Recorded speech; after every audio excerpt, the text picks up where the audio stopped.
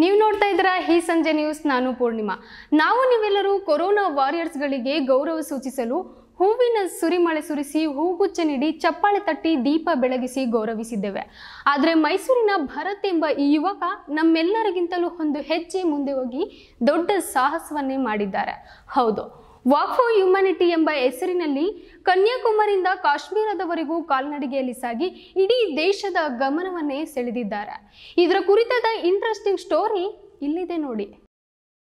ಇಡೀ ವಿಶ್ವವನ್ನೇ ಕಾಡಿದ corona virus ಭಾರತದಲ್ಲೂ ತನ್ನ ಹಟ್ಟಹಾಸ ಮೆರೆಯಿತು. ಇಡೀ ದೇಶಕ್ಕೆ ದೇಶವೇ ಲಾಕ್ಡೌನ್ ಆಯಿತು. ನಾವು ನೀವೆಲ್ಲರೂ ಕೋವಿಡ್ ವೈರಸ್ನಿಂದ ತಪ್ಪಿಸಿಕೊಳ್ಳಲು ಮನೆ ಮಠ ಸೇರಿಕೊಂಡೆವು. ಆದರೆ ದೇಶ ಕಾಯುವ ಯೋಧರು, ಪೊಲೀಸರು, ವೈದ್ಯರು, ಆಶಾ ಕಾರ್ಯಕರ್ತರು ಹಾಗೂ ಪೌರ ಕಾರ್ಮಿಕರು ಯಾರೂ ನಮ್ಮಂತೆ ಮನೆ ಸೇರಲಿಲ್ಲ. ಬದಲಾಗಿ ಎಷ್ಟು ದಿನಗಳ ಕಾಲ ಮನೆಯಿಂದ ಮನೆಯವರಿಂದ ದೂರವಿದ್ದು ಹಗಲು ರಾತ್ರಿ ಎನ್ನದೇ ಶ್ರಮಿಸಿದ್ದಾರೆ. ಅದರಲ್ಲೂ ವೈದ್ಯರ ಸೇವೆ ನಿಜಕ್ಕೂ ಶ್ಲಾಘನೀಯ. ಸೋಂಕಿತರ ಬಳಿ ನಾವು ನೀವು ಹೋಗುವ ಮಾತು ಹಾಗಿರಲಿ. ಕೋವಿಡ್ನಿಂದ ಮೃತಪಟ್ಟ ವ್ಯಕ್ತಿ ಬಳಿಯೂ ನಾವುಗಳು ಸುಳಿಯಲಿಕ್ಕೂ ಭಯಪಡುತ್ತಿದ್ದೆವು. ಇಂತಹ ಸಂದರ್ಭದಲ್ಲಿ ವೈದ್ಯರು ತಮ್ಮ ಪ್ರಾಣದ ಹಂಗನ್ನ ತೊರೆದು ಕಾರ್ಯನಿರ್ವಹಿಸಿದ್ದಾರೆ. ಹಾಗಾಗಿಯೇ ಇಡೀ ದೇಶದ ಜನರೇ ವೈದ್ಯರು ಸೇರಿದಂತೆ ಕೋವಿಡ್ ಸಂದರ್ಭದಲ್ಲಿ ಶ್ರಮಿಸಿದವರನ್ನ ಕೊರೋನಾ ವಾರಿಯರ್ಸ್ ಗಳೆಂದು ಗೌರವದಿಂದ ಕಾಣುತ್ತಿದ್ದೇವೆ. ಈ ನಡುವೆ ಮೈಸೂರಿನ ಈ ಯುವಕ ಕೊರೋನಾ ವಾರಿಯರ್ಸ್ ಗಳಿಗೆ ಕೃತಜ್ಞತೆ ಸಲ್ಲಿಸಲು ಮಾಡಿದ ಸಾಹಸ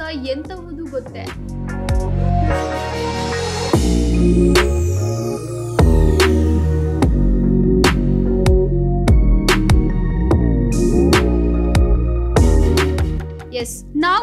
ನೀವೆಲ್ಲರೂ ಕೊರೋನಾ ವಾರಿಯರ್ಸ್ ಗಳಿಗೆ ಅವರ ಮೇಲೆ ಹೂವಿನ ಸುರಿಮಳೆ ಸುರಿಸಿ ಹೂಗುಚ್ಚ ನೀಡಿ, ಚಪ್ಪಾಳೆ ತಟ್ಟಿ, ದೀಪ ಬೆಳಗಿಸಿ ಗೌರವ ಸೂಚಿಸಿದ್ದೇವೆ. ಆದ್ರೆ ಮೈಸೂರಿನ ಭರತ್ ಎಂಬ ಈ ಯುವಕ ನಮ್ಮೆಲ್ಲರಿಗಿಂತಲೂ ಒಂದು ಹೆಜ್ಜೆ ಮುಂದೆ ಹೋಗಿ ದೊಡ್ಡ ಸಾಹಸವನ್ನೇ ಮಾಡಿದ್ದಾರೆ. Karnataka, Mysore, India is from started walking from Kanyakumari to Kashmir he started from December from December 11th and uh, completed today.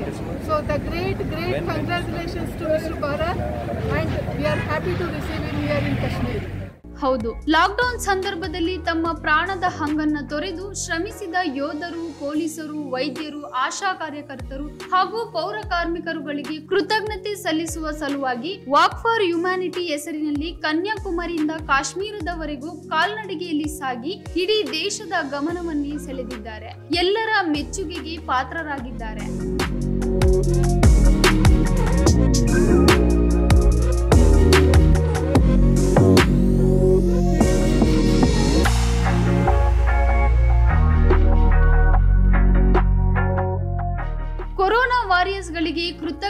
ಸಲ್ಲಿಸಲು ಕನ್ಯಾಕುಮಾರಿಯಿಂದ ಕಾಶ್ಮೀರದವರೆಗೂ ಕಾಲ್ನಡಿಗೆಯಲ್ಲಿ ಸಾಗಿದ ಭರತ್ ಅವರು ಇಷ್ಟು ದೂರ ಹೇಗೆ ನಡೆದುಕೊಂಡು ಬಂದರು? ದಾರಿ ಮಧ್ಯದಲ್ಲಿ ಅವರಿಗೆ ಊಟದ ಸಮಸ್ಯೆ, ಆರೋಗ್ಯದ ಸಮಸ್ಯೆ ಎದುರಾಗಲಿಲ್ಲವೇ ಎಂಬುದನ್ನ ತಿಳಿದುಕೊಳ್ಳುವ ಕುತೂಹಲದಿಂದಲೇ ಅವರನ್ನ ಸಂಪರ್ಕಿಸಲು ನಮ್ಮ ಈ ಸಂಜೆ ನ್ಯೂಸ್ ಪ್ರಯತ್ನ ಮಾಡಿದಾಗ ಭರತ್ ಅವರು ಅದಾಗಲೇ ಕನ್ಯಾಕುಮಾರಿಯಿಂದ ಕಾಶ್ಮೀರ ಸೇರಿಕೊಂಡಿದ್ದರು. ನಿರಂತರವಾಗಿ ಬರೋಬ್ಬರಿ ತೊಂಬತ್ತೊಂಬತ್ತು ದಿನಗಳ ಕಾಲ ಕಾಲ್ನಡಿಗೆಯಲ್ಲಿ ನಡೆದಿದ್ದರಿಂದ ಆಯಾಸಗೊಂಡು ವಿಶ್ರಮಿಸುತ್ತಿದ್ದರು. ಹಾಗಾಗಿ ನಮ್ಮ ಕರೆಗೆ ಸಿಕ್ಕವರು ಕರ್ನಾಟಕದಿಂದ ಇಪ್ಪತ್ತು ವರ್ಷಗಳ ಹಿಂದೆಯೇ ಹೋಗಿ ಕಾಶ್ಮೀರದಲ್ಲಿ ನೆಲೆಸಿರುವ ಸುಜಾತ ಸಲೀಂ ಎಂಬ ಕನ್ನಡತಿ ಭರತ್ ಅವರ ವಾಕ್ ಫಾರ್ ಹ್ಯುಮ್ಯಾನಿಟಿ ಕುರಿತು ಏನ್ ಮಾತನಾಡಿದ್ದಾರೆ ಎಂಬುದನ್ನ ನೀವೇ ಕೇಳಿ. ಅವ್ರು ಬಂದಾಗ ಇಲ್ಲಿ ವೆಲ್ಕಮ್ ಮಾಡಿದ್ದು ನಾವು ಕರ್ನಾಟಕದವಳಾಗಿ ನಾನು. ಕಾಶ್ಮೀರಲ್ಲಿ ನೆಲೆಸಿರೋದ್ರಿಂದ ಇಪ್ಪತ್ತು ವರ್ಷದಿಂದ ನಾನು ಇಲ್ಲಿ ನೆಲೆಸಿರೋದ್ರಿಂದ. ಮತ್ತೆ ನಮ್ಮ ಕರ್ನಾಟಕದ ಜನಗಳಿಗೋಸ್ಕರ ನಾನು ಯಾವಾಗ್ಲೂ ಒಳ್ಳೇದನ್ನೇ ಯೋಚನೆ ಮಾಡ್ತಾ ಇರ್ತೀನಿ. ಯಾರಿಗಾದ್ರು ಏನಾದ್ರು ತೊಂದರೆ ಆಯ್ತು ಅಂತಂದ್ರೆ ಯಾರಾದ್ರೂ ನನ್ಗೆ ಕಾಂಟ್ಯಾಕ್ಟ್ ಮಾಡಿದ್ರೆ ನಾನು ಅವ್ರಿಗೆ ವ್ಯವಸ್ಥೆ ಮಾಡ್ತಾ ಇರ್ತೀನಿ. ಮತ್ತೆ ನಾನು ಫ್ರೀಲ್ಯಾನ್ಸ್ ಅಲ್ಲಿ ಟೂರ್ ಸೆಂಟರ್ ಸರ್ವಿಸ್ ಮಾಡ್ತಾ ಇರೋದ್ರಿಂದ ಟೂರ್ಸ್ ಸರ್ವಿಸ್ ಸೊ ನಾನು ಹೋಟೆಲ್ ಅಕಾಮಿಡೇಷನ್ ಅಂತೆ ಮತ್ತೆ ಟ್ರಾನ್ಸ್ಪೋರ್ಟೇಷನ್ ಅಂತೆ ಇದೆಲ್ಲ ವ್ಯವಸ್ಥೆ ಮಾಡ್ತಾ ಇರ್ತೀನಿ.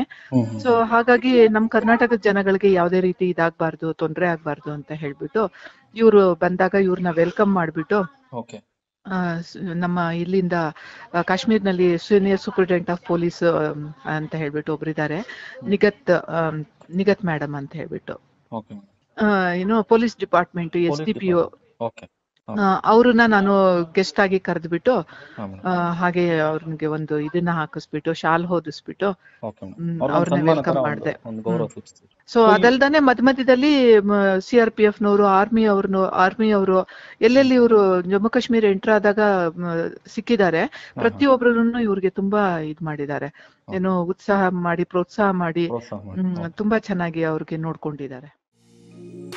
ಎಸ್. ಕೇಳಿದ್ರಲ್ಲ, ಸುಜಾತ ಸಲೀಂ ಅವರು ಹೇಳಿದ ಮಾತುಗಳನ್ನ. ಮೈಸೂರಿನ ಸಾಹಸಿ ಭರತ್ ಪಿ ಎನ್ ಅವರು ವಾರಿಯರ್ಸ್ ಗಳಿಗೆ ಕೃತಜ್ಞತೆ ಸಲ್ಲಿಸಲು ವಾಕ್ ಫಾರ್ ಹ್ಯುಮ್ಯಾನಿಟಿ ಹೆಸರಿನಲ್ಲಿ ಕನ್ಯಾಕುಮಾರಿಯಿಂದ ಎರಡ್ ಸಾವಿರದ ಇಪ್ಪತ್ತು ಕಳೆದ ವರ್ಷ ಡಿಸೆಂಬರ್ ಹನ್ನೊಂದರಂದು ನಡೆಯಲು ಪ್ರಾರಂಭಿಸಿ, ಎರಡ್ ಸಾವಿರದ ಇಪ್ಪತ್ತೊಂದರ ಮಾರ್ಚ್ ಹನ್ನೆರಡರವರೆಗೂ ತೊಂಬತ್ತೊಂಬತ್ತು ದಿನಗಳ ಕಾಲ ನಡೆದು ಕಾಶ್ಮೀರವನ್ನ ತಲುಪಿದ್ದಾರೆ. ಇವರ ಮಾನವೀಯತೆಗೆ ನಾವುಗಳೆಲ್ಲ ಮನಸೋತು ಆತ್ಮೀಯವಾಗಿ ಭರತ್ ಪಿ ಎನ್ ಅವರನ್ನ ಬರಮಾಡಿಕೊಂಡು ಅವರಿಗೆ ಗೌರವ ಸಲ್ಲಿಸಿದ್ದೇವೆ ಎಂದು ಸುಜಾತಾ ಸಲೀಂ ಅವರು ಹೇಳುತ್ತಾರೆ. ಮತ್ತೊಂದು ವಿಶೇಷ ಏನೆಂದರೆ, ನಮ್ಮ ಕರ್ನಾಟಕದಿಂದ ಯಾರೇ ನಮ್ಮ ಕನ್ನಡಿಗರು ಕಾಶ್ಮೀರ ನೋಡಲು ಹೋದಾಗ, ಸುಜಾತ ಸಲೀಂ ಅವರು ಅತ್ಯಂತ ಆತ್ಮೀಯವಾಗಿ ಬರಮಾಡಿಕೊಂಡಿರುವ ಪ್ರಸಂಗಗಳು ಹಲವಾರಿವೆ. ಎಷ್ಟೇ ಆದ್ರೂ ನಮ್ಮ ಕನ್ನಡ ಮಣ್ಣಿನ ಮಗಳಲ್ಲವೇ. Karnataka, Mysore, India is from started walking from Kanyakumari to Kashmir he started from December from December 11th and uh, completed today. So the great, great congratulations to Mr. Bharat and we are happy to receive him here in Kashmir.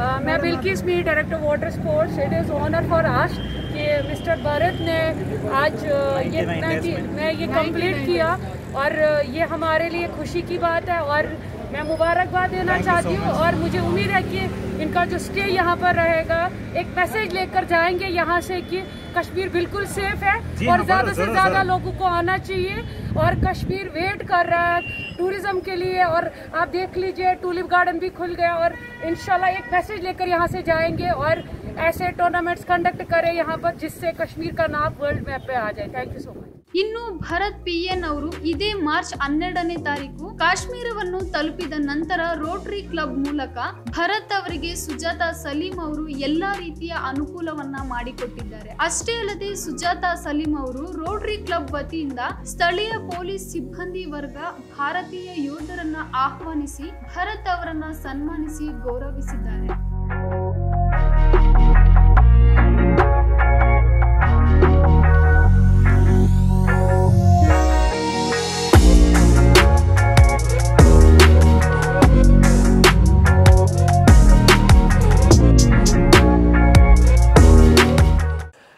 ಈ ಸಂಜೆ news subscribe ಮಾಡಿ share ಮಾಡಿ like ಮಾಡಿ.